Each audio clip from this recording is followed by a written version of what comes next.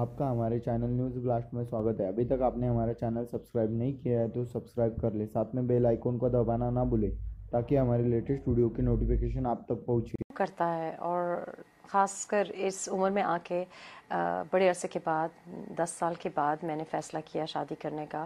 میں نے پاکستان تحریک انصاف کے چیئرمین کے ساتھ شادی نہیں کی۔ میں نے کسی سیلیبریٹی کرکٹ آئی کون کے ساتھ شادی نہیں کی۔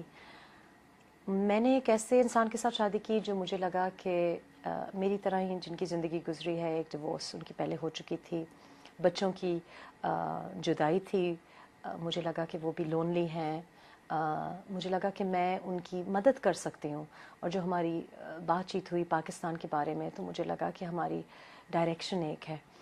میں نے ان کو یہ کہا کہ آپ سے میں شادی کیسے کر سکتی ہوں؟ آپ تو ایک تو آپ مجھے جانتے نہیں ہیں، میں آپ کو جانتی نہیں ہوں، اور دوسرا، آپ عمران خان سٹیٹس ہے آپ کے ساتھ۔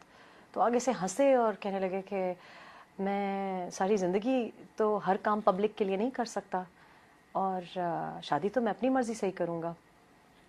تو پھر میں نے ان سے یہ کہا کہ میں دس سال سے اپنی ایک ساخت بنانے کی کوشش کر رہی ہوں۔ بڑی مشکل سے میں پہلی شادی میں سے نکلی تھی، میں خوش ہوں۔ اور ایسا نہ ہو کہ آپ کی وجہ سے اتنا زیادہ میں اسکروٹنی ہونے شروع ہو جائے میری اور میری جو پرائیویٹ لائف ہے اور جو فریڈم ہے، وہ ساری کمپرومائز ہو جائے۔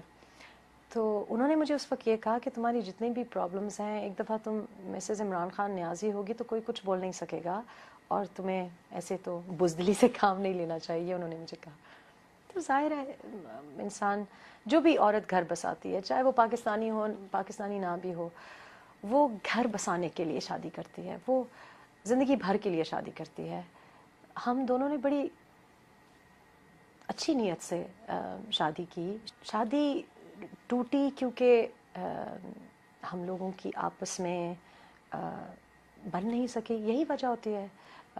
میں ایک اور طرح کی شاید گولز ہیں میری زندگی میں اور بس آپس میں ہماری وہ انڈرسٹینڈنگ نہیں بن پائی۔ لیکن اس کے بعد پھر اس قسم کی جو ایلیگیشنز مجھ پہ لگائی گئیں، یہ بڑے افسوس کی بات ہے۔ کیونکہ پاکستانی کمیونٹی سے جب بھی کوئی لڑکی طلاق کا سوچتی بھی ہے، تو اس کو بہت ڈرایا، دھمکایا جاتا ہے۔ اور اس کے بارے میں پھر نازیبا قسم کی باتیں کی جاتی ہیں۔ لیکن طلاق کرنا بڑی بری بات ہے، کیونکہ فیملیز ٹوٹ جاتی ہیں، لیکن آپ کے پاس یہ حق ہے۔ اور جو طلاق میں سے گزر رہا ہوتا ہے، مرد یا عورت، اس کے لیے اور اس کے بچوں کے لیے بڑی تکلیف دہ چیز ہے۔ اس کے اوپر پھر اگر آپ اس کے لیے نہ حق نہ جائز اس کے اوپر باتیں کریں، اس سے ہمیں گریز کرنا چاہیے۔ کیا یہ بات صحیح ہے کہ آپ سیاست میں آنا چاہتی تھیں اور جب آپ کو عمران نے منع کیا تو آپ نے طلاق کا فیصلہ کر لیا؟ نہیں، ایسی کوئی بات نہیں، میرا خیال ہے کہ کوئی بھی اگین کوئی بھی پاکستانی عورت تو ایسا سوچ بھی نہیں سکتی کہ اس ایسی کسی بات پہ آپ طلاق کا فیصلہ کر لیں۔ میں نے سیاست میں خان صاحب کی اس وجہ سے سپورٹ کی کیونکہ وہ میرے فیملی کا حصہ تھے۔ جو میرا بیٹا کرتا ہے، میں اس میں بھی انوالو ہوتی ہوں۔ جو میری بہن کرتی ہے، میری بیٹی کرتی ہے، میں ہر ایک کو سپورٹ کرتی ہوں۔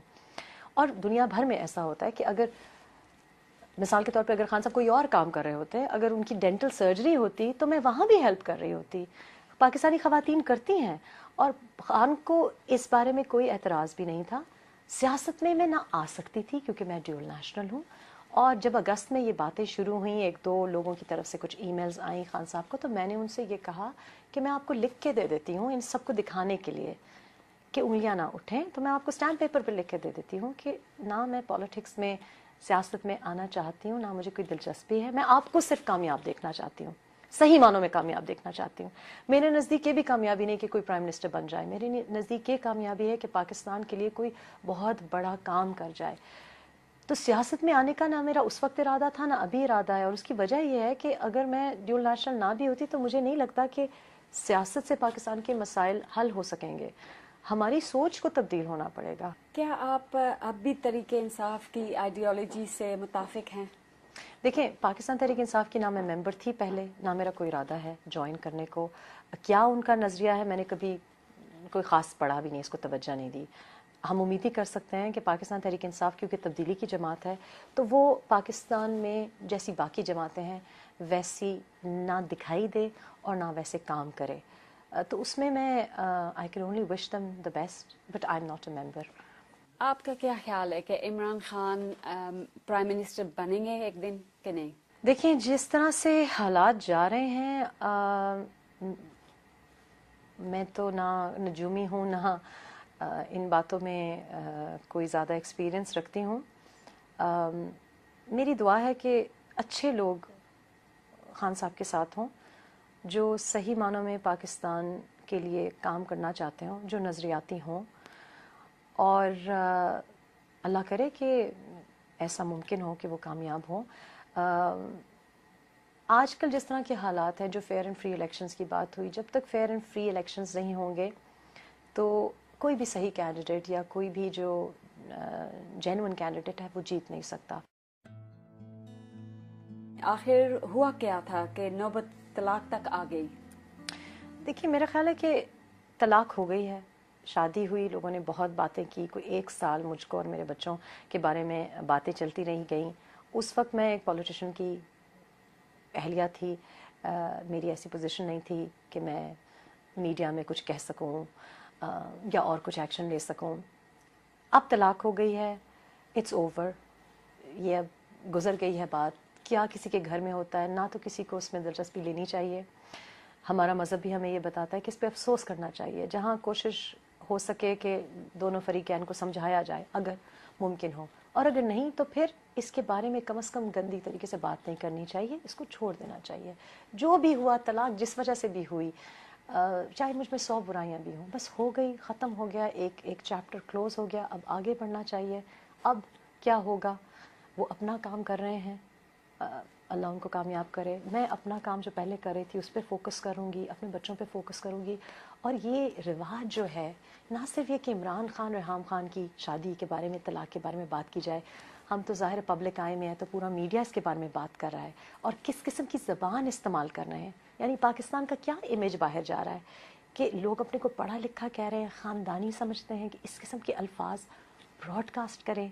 یہ پاکستان کی پاکستانی کلچر کی، اقدار کی بیس ہے انڈیا دیکھ رہا ہے۔ ویسٹرن کمیونٹی دیکھ رہی ہے۔ مجھے شرم آتی ہے کہ یہ لوگ کیوں ایسے بیٹھ کے باتیں کر رہے ہیں؟ اور جہاں تک بات باقی طلاقوں کی بھی ہے، تو ہم لوگ ہر ایک کے بارے میں بات کرتے ہیں۔ ہر ہر ایک کے گھریلو مسائل میں گھسنے کی کوشش کرتے ہیں۔ یہ نہیں سوچتے کہ اس میں کتنی ان کو تکلیف ہو رہی ہے، اس میں کتنی برائی ہے۔ اور ہمیں ہمارا مذہب، ہمارا کلچر جو ہماری پرانی اقدار تھی، اس سے منع کرتا ہے۔ تو نہ میری طلاق کو آپ ڈسکس کریں۔